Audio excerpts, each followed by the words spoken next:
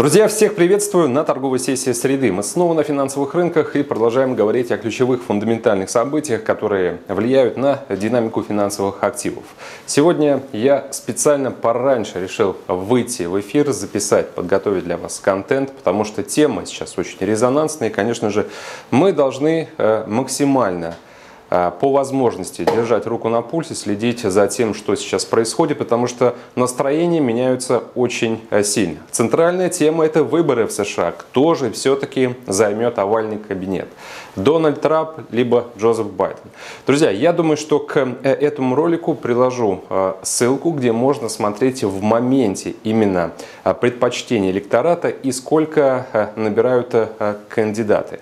Напомню, что избирательная система США устроена таким образом, что фактически имя следующего президента будет определяться не всеобщим голосованием, а коллегией выборщиков. И если э, какой-то кандидат хочет стать полноправным хозяином Белого дома, ему нужно набрать 270 голосов.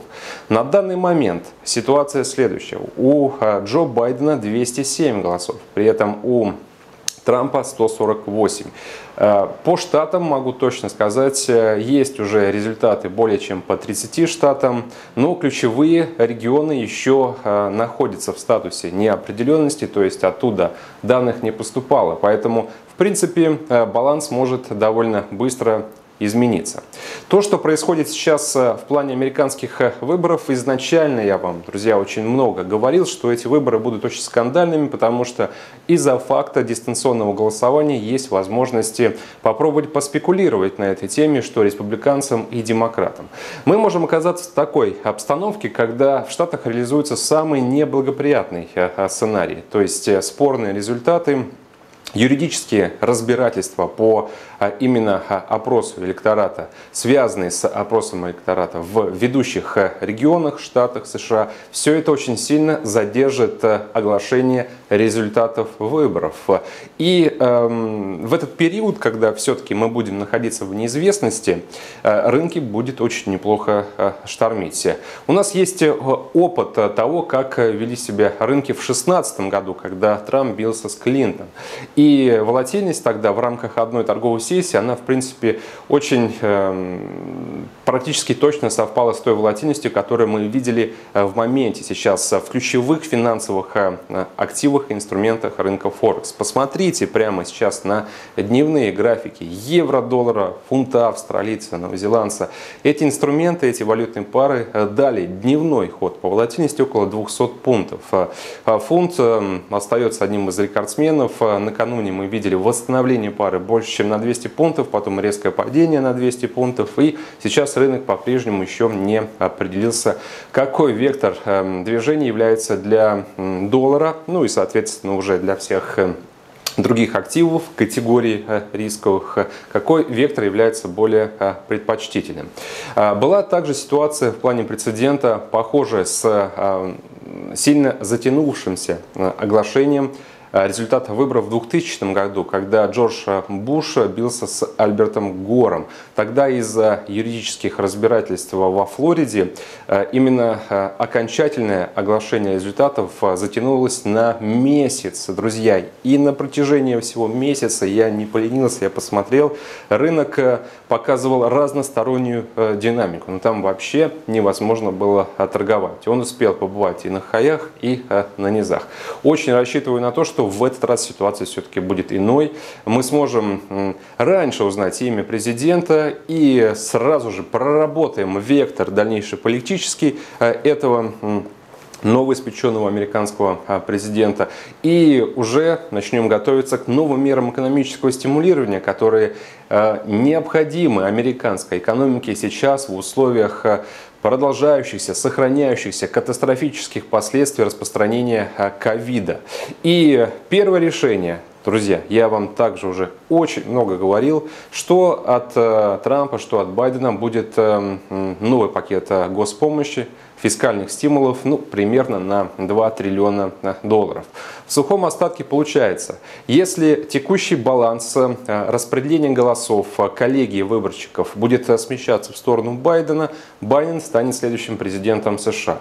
И по опросам экспертов, аналитиков есть предположение, что именно при Байдене доллар может оказаться под серьезным прессом, потому что Байден представляет демократов, а демократы ратуют за более агрессивное стимулирование американской экономики. Их прежняя инициатива вообще предполагала выделение экономики больше 2,5 триллионов долларов. Республиканцы топят за э, меньшую э, сумму. А, плюс ко всему, если дальше развивать тему победы Байдена, энергетический сектор, рынок нефти может оказаться под давлением. Я думаю, друзья, если для вас, скажем, сейчас имеет большое значение. Возвращаясь к российским реалиям, перспективы э, рубля, могу сказать, что при э, Байдене рубль может э, столкнуться с еще большим прессом, потому что, опять же, Байден ассоциируется с возможностью усиления санкционного давления против российской экономики. При новом витке санкционной агрессии, скажем так, рубль, конечно же, может столкнуться с дополнительным фундаментальным прессом, поэтому те прогнозы, которые строят американские аналитики, делают касательно касательно того, что будет э, с рублем, относительно его девальвации против доллара и движения в район 90 рублей за одну единицу американской валюты. Эти прогнозы при Байдене будут более чем оправданы. Э, также, друзья, э, касательно именно дальнейшего поведения доллара. Я много раз говорил, что как только рынок столкнется с новостью о новых мерах экономического стимулирования, доллар пойдет вниз. Сейчас индекс американской валюты топчется чуть ниже 94 пунктов собирается э, снижаться. И в рамках вчерашнего дня мы видели развитие нисходящей динамики. Я думаю, что такая тенденция продолжится. Запрыгнуть в этот э, мощный локомотив э, состав еще не поздно. Рекомендую присоединяться к сделке на снижение, потому что в случае победы Байдена мы буквально в рамках одной-двух недель получим от Конгресса решение по новому пакету государственной помощи. Золото в связи с этим ставка в рост 1950, прогноз City, JP Morgan, он по-прежнему актуален. Евро против доллара 1.1671.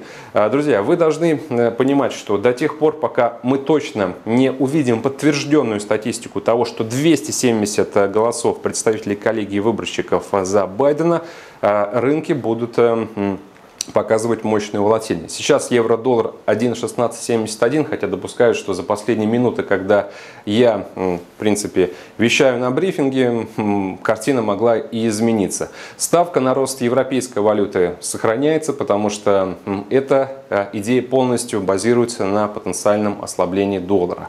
Фунт против американца 1.3005. Ранее говорил, что рискну с короткой позицией, я не отказываюсь от своих слов. Американский фондовый рынок 27 477, это по Доу Джонсу. Четвертый день подряд мы растем.